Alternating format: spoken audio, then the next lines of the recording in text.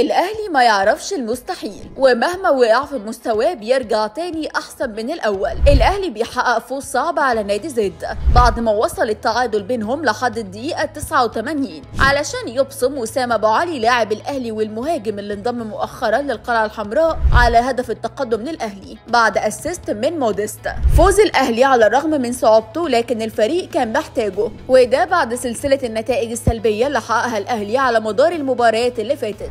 وكمان أن قبل أيام من مباراة نادي الزمالك المرتقبة في قمة الدوري. وعلى الرغم من الفوز لكن في علامات استفهام كبيرة على أداء النادي الأهلي في المباريات الأخيرة. وده اللي عرض مارسيل كولر المدير الفني للنادي الأهلي لانتقادات كبيرة. بسبب تدني مستوى النادي الأهلي وابتعاد اللاعبين عن الفورمة المعهودة.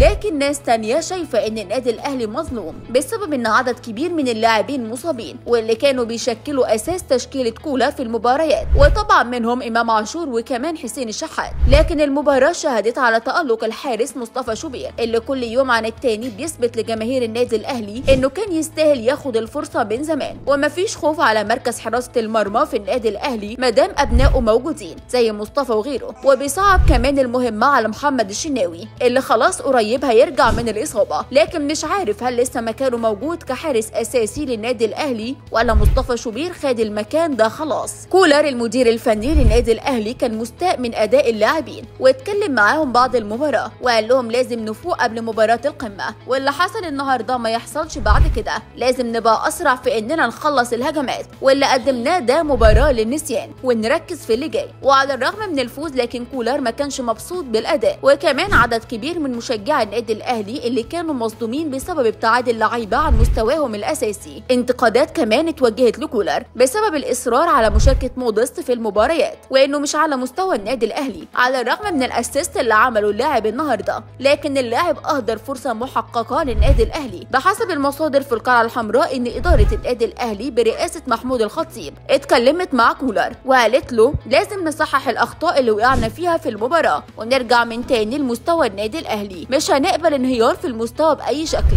خصوصا في تحديات ومباريات مهمة قدام النادي الأهلي سواء في الدوري المصري والمؤجلات أو كمان في البطولة الأفريقية. ده غير كمان إن مركز الأهلي لحد دلوقتي مش كويس في الدوري. كولر أكد للإدارة إنه هيركز مع اللعيبة علشان يرجع من تاني للمستوى المعهود ليهم والبداية هتكون من مباراة القمة الجاية قصاد نادي الزمالك اللي بدأ يرجع من تاني لمستواه المعهود. لكن يا ترى هل هيقدر الأهلي يفوز على الزمالك في مباراة القمة المنتظرة ولا الزمالك هيكون عنده وجهة نظر تانية؟